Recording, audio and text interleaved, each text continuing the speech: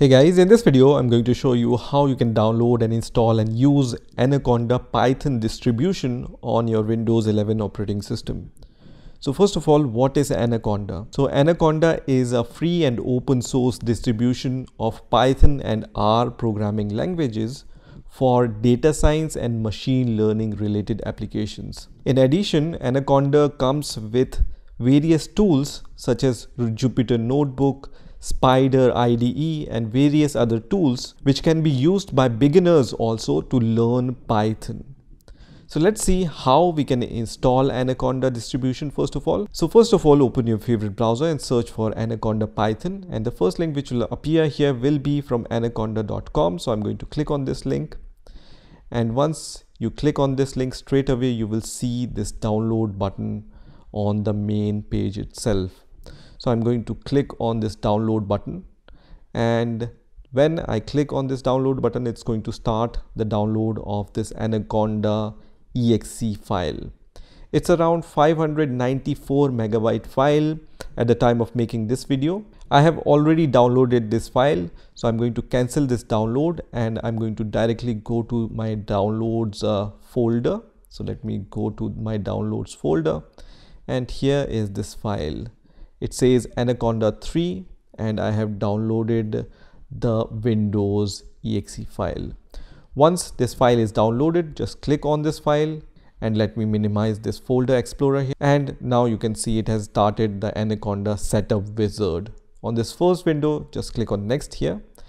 And on the next window you can read all the license terms and conditions. And if you agree with them click on I agree. Now on this next window you can uh, choose install for. I'm going to choose all users here and then click on next which is going to show you this kind of uh, window. Which says do you want to allow this app to make changes on your device? I will say yes.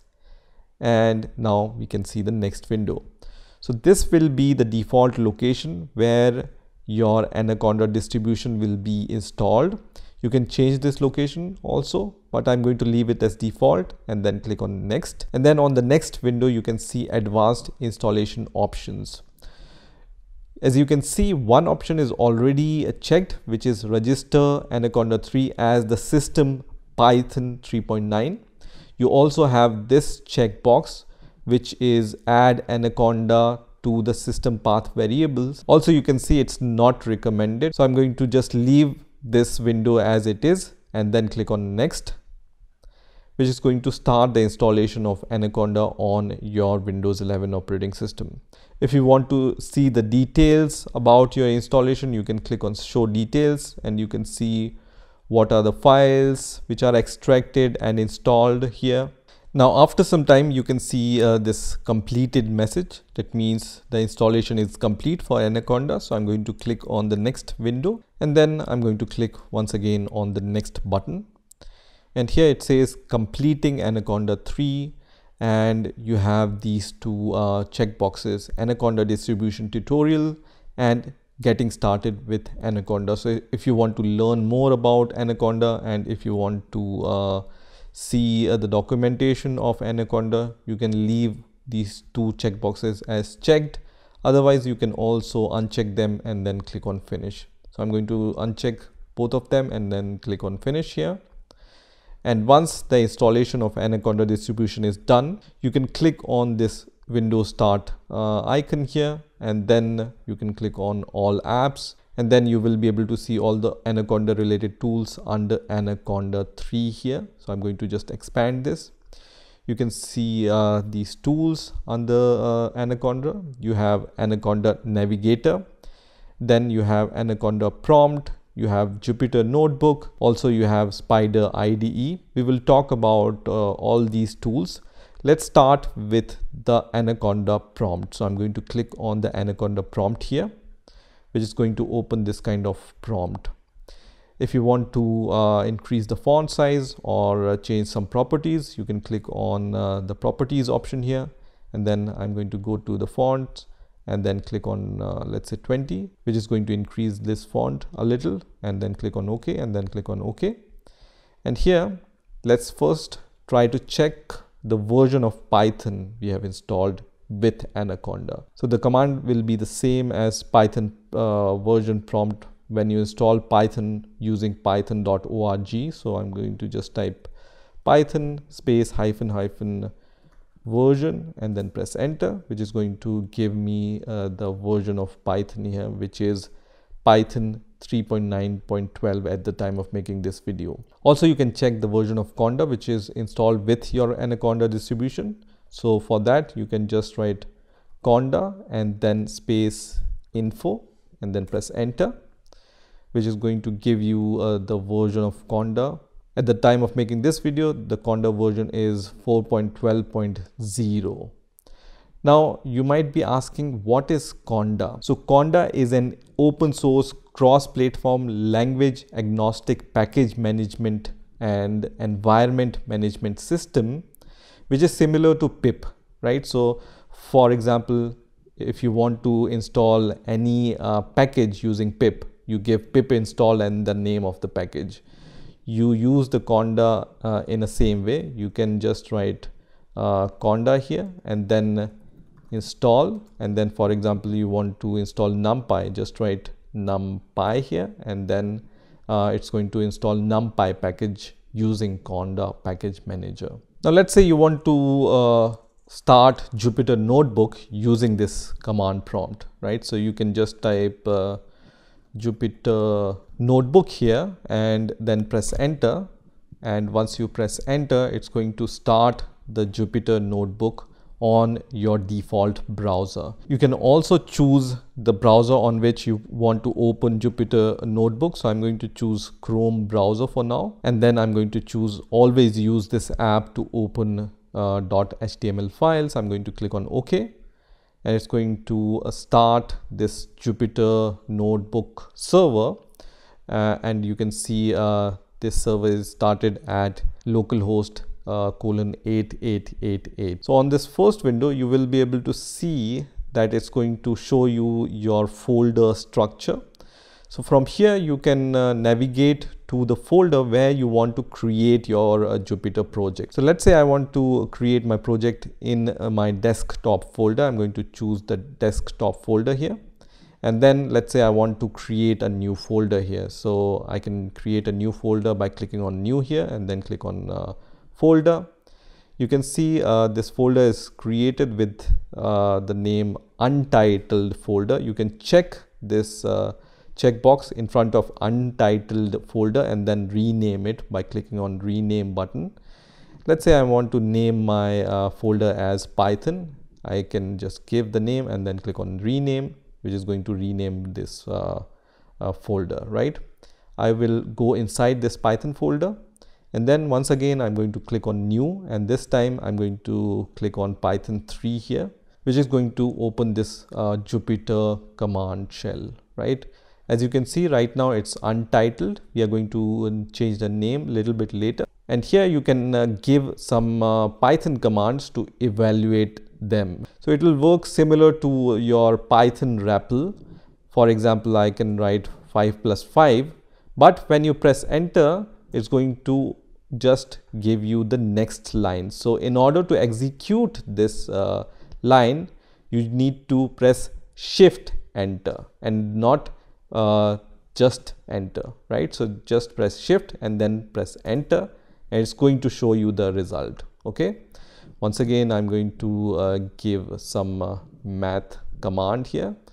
Once again i can press shift enter and only then you will be able to see the result of that expression right?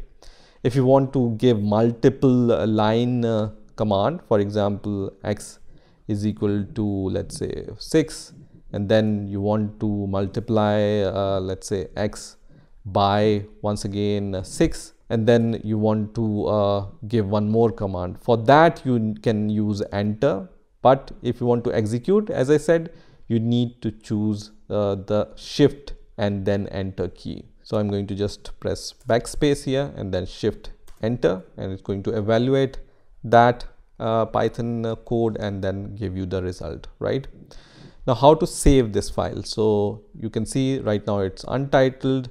I can click on this and then give any name to my file. So let's say I'm going to name my file as uh, test for example. So just give the name and then click on uh, rename here and then my Jupyter notebook file name has been changed to test here. So once you have saved the file, you can navigate to the folder where you have uh, created this file. I have created this file inside my Python folder. So I can open the Python and you can see there is this test.ipynb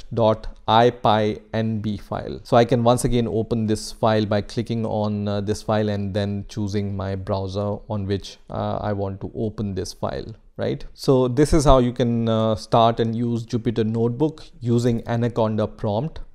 Let me also uh, show you how you can uh, open the Spyder uh, IDE using Anaconda prompt. So once again, I can uh, just search for uh, this anaconda prompt which is here. I'm going to open this anaconda prompt. And to start Spyder you just need to give this command. Just type start and then space and then just type uh, S-P-Y-D-E-R Spyder start Spyder which is the command and then press enter. It's going to open the Spyder IDE on your Windows 11 operating system so you can see this Spyder IDE has been started now. Here also you can create your uh, Python files and then execute your Python files or individual uh, commands uh, using this uh, Spyder IDE. For example, you can just uh, type uh, print here and then in the parentheses under the double quotes you can type something for example hello world here and then you can execute this file by pressing on this uh, green button and then click on run and you can see it prints hello world. You can also see the location where uh, this file is saved. Right now it's saved under C user and then your username and then there will be dot spyder hyphen py3 uh, folder by default and then there is this temp.py file which is created. You can also create any folder uh, wherever you want in your file system using uh, this file and then and then you can uh, choose your folder in which you want to create your project right? Now one last thing i want to show you and that is the anaconda navigator. So once again i'm going to go to my windows start button and then click on all apps here under anaconda I can see Anaconda Navigator, right? So click on the Anaconda Navigator here and it's going to open the Anaconda Navigator. You will also see some command prompt. So you can see now this Anaconda Navigator has been started. So here you will be able to see the list of uh, some apps. So some apps are pre-installed, some apps you can install uh, them. So the apps which are installed, you will see uh, the launch button um, in front of them, right? So I have this cmd.exe prompt. I have this Datalore uh, uh, data analysis uh, tool. I have IBM Watson uh, Studio Cloud, Jupyter Lab. Then I have uh, this Jupyter Notebook, PowerShell prompt, and I have this Spyder and, and Qt console, which are pre-installed. I can also install Glueviz or the Orange 3 or PyCharm Professional, RStudio and other tools using this uh, Anaconda navigator from here. You can also see the list of environments here in the environments tab and you can also learn more about different Python related tools here. You can see Python tutorial, Anaconda, Panda, NumPy. So all these uh, tutorials are uh, listed here which you can uh, read and learn from them right? So this is how you can download and install anaconda distribution on your windows 11 operating system. I hope you've enjoyed this video and i will see you in the next video